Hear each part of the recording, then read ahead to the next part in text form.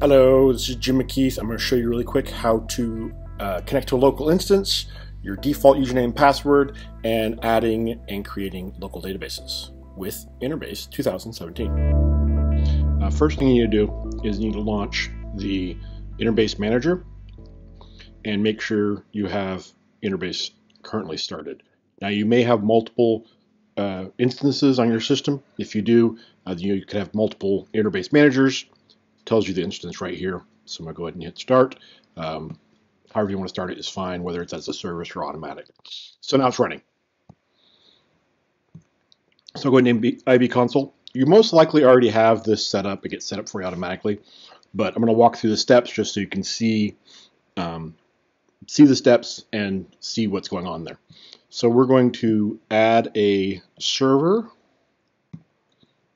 and we're going to specify uh, local instance here. The default password is master key, M-A-S-T-E-R-K-E-Y. And I'm going to say save, hit next, and I'm not going to specify an instance. So there we go. Here's our local server, uh, GDSDB. Now, I can add a database to this. I can create a database or add a database. So let's start with creating a database.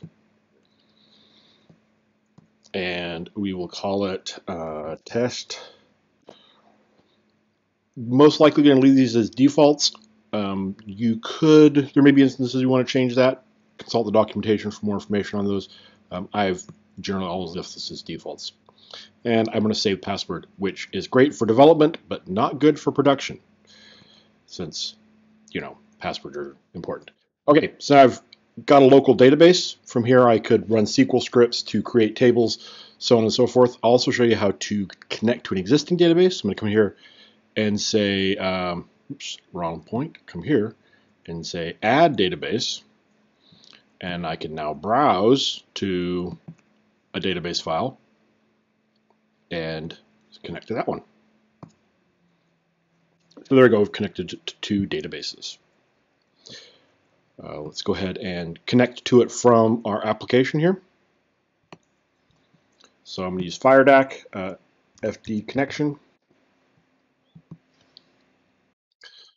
driver IDs interbase, database. This is the database file I want, which uh, it's on my desktop. And we'll do the test database.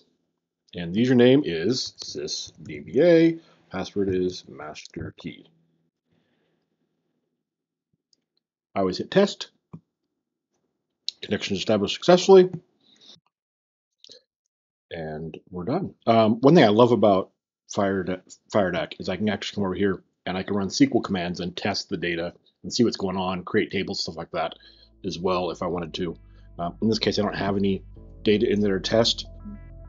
But there you go. That's the basics of connecting to a local uh, database instance, creating local databases, and adding existing databases.